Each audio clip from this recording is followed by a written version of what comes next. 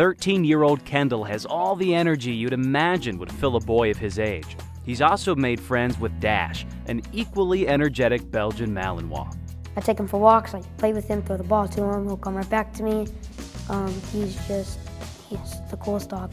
But this is no ordinary story about a boy and his dog. In fact, the dog isn't Kendall's, at least not yet. Dash belongs to Shawn Thompson of Top Dog Boarding and Training.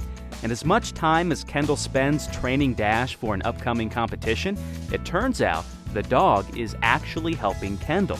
With his great, ginormous passion for dogs, uh, we can use that passion as a way to manipulate where he worked really hard to fight his urges and make conscious decisions, cognitive thinking, that will allow him to uh, make choices that he wanted to make but just impulsively wasn't allowing himself to make.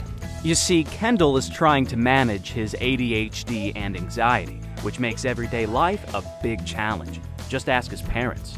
So the ADHD and his schooling um, is really a, a, makes makes him not focus as much on classwork. He his mind is racing about 10 times faster than than uh, he can speak or whether he can put things down on paper because of his ADHD. He's a great kid and he has a super great heart.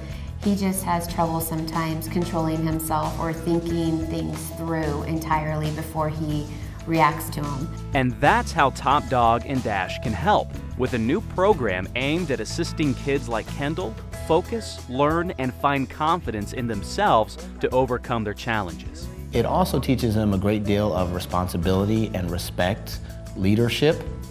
These are all things that are required in order to be successful working with a dog. Kendall works to train the dog for an upcoming competition, and at the same time, he's learning to manage his condition and make the right choices. It doesn't end with dog training, though. Kendall uses what he's learned, the focus and concentration, at school. And as a result, his behavior has improved and his grades keep getting better.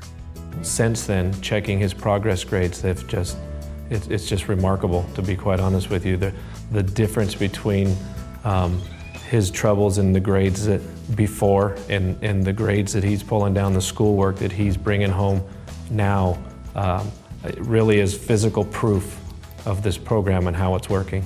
Dash is Kendall's motivation to work through his challenges and to become more confident in himself.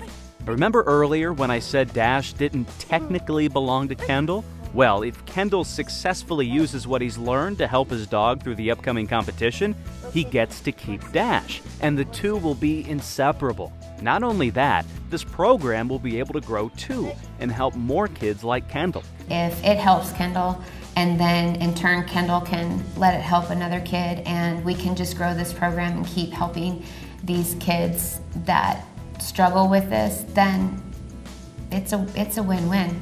A boy and his dog accomplishing great things together. Please show your support for this worthy cause.